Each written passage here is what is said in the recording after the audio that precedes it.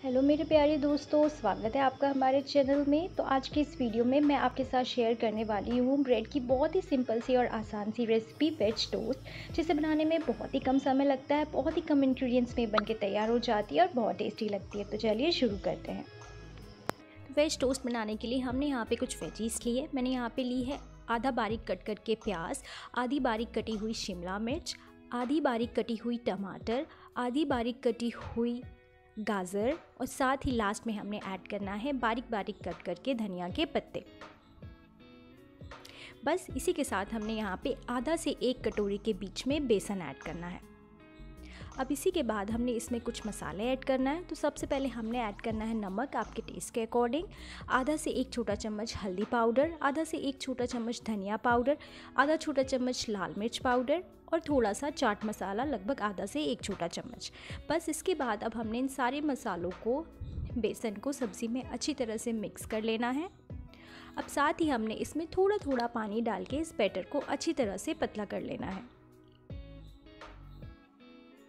धीरे धीरे हमने थोड़ा थोड़ा पानी डाल के इस बैटर को अच्छी तरह से फेंटना है ताकि इसमें ज़रा भी लम्स ना पड़े।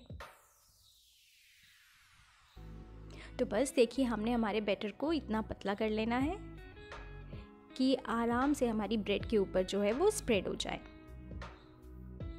तो बस अब हमारा जो बैटर जो है बेसन का तैयार हो गया है तो चलिए अब हम हमारी ब्रेड तैयार करते हैं। तो मैंने एक तवा लिया है, इसे अच्छी तरह से गर्म कर लिया है और हल्का हल्का सा इसमें ऑयल लगा लिया है। आप इसमें घी का भी इस्तेमाल कर सकते हैं। बस ये मेरी ब्रेड की स्लाइस है। अब हमने जो बैटर बना के रखा हुआ था, वो हमने इस ब्रेड के ऊपर अच्छी तरह से चारों तरफ़ स्प्रेड कर देना है। बस बड़े आराम से जो हमारा बैटर है ब्रेड के ऊपर लग जाएगा कोई दिक्कत नहीं आएगी। धीरे धीरे हम इस तरह से फैलाते हुए पूरी ब्रेड को हमने कवर कर देना है। बस अभी हमारा अच्छी तरह से लग के हो चुका है। अब हमने हमारी ब्रेड को जो है दूसरी तरफ़ से पलट देना है।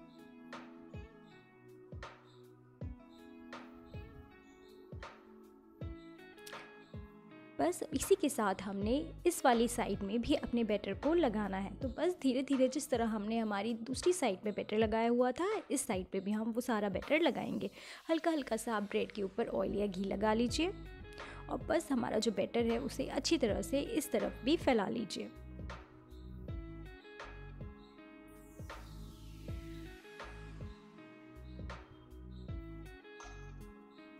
तो बस, अब इस तरफ़ से भी हमारा जो बैटर जो है, ब्रेड को अच्छी तरह से कवर हो गया है। अब हमने इस तरफ़ से भी जो हमारी ब्रेड है, वो पलट देनी है। ये देखिए, हमारा जो दूसरी तरफ़ का बैटर है, वो भी अच्छी तरह से सीख गया है। जो सारा बैटर जो है, ब्रेड में अच्छी तरह से चिपक गया है। हल्का हल्का सा आप तेल जो है और डाल लीजिए, ताकि जो हमारा बेसन जो है, तवे पे चिपके ना तो बस इसी तरह हमने पलटते हुए लगभग डेढ़ से दो मिनट के लिए मीडियम से लो फ्लेम पर हमने हमारा बैटर जो है, ब्रेड जो है, उसे अच्छी तरह से कम्प्लीटली बेसन को पक जाने तक के लिए सेकना है। तो बस अभी हमारा बिल्कुल तैयार है। तो ये देखिए, हमारी जो टोस्ट है, वेज टोस्ट बन करके फटाफट बिल्कुल तैयार हो गई है। कोई झंझट नहीं लगी, कोई टाइम नहीं लगा। फटाफट से हमारी टोस्ट जो है बन के तैयार हो गई है। बहुत ही यम्मी बहुत ही टेस्टी बच्चों के साथ साथ बड़ों को भी पसंद आएगी। लंच बॉक्स हो ब्रेकफास्ट हो, या हल्की फुल्की भूख हो, उसके लिए तो ये एकदम परफेक्ट रेसिपी है। ये देखिए, लग रही है ना, बहुत ही टेस्टी तो बस गाइस देखिए, मैं आपको इसे अब तोड़ के भी दिखाती हूँ। तो बेसन का जो हमारा बैटर वो अच्छे से पका हुआ है। ब्रेड भी हमारी बहुत अच्छी दिख रही है। ये देखिए। तो ये देखिए बिल्कुल अच्छी तरह से पका हुआ है हमारा टोस्ट। बेसन भी अच्छी तरह से पकी हुई है। तो बस, ये थी हमारी सिंपल सी ब्रेड की आसान सी रेसिपी।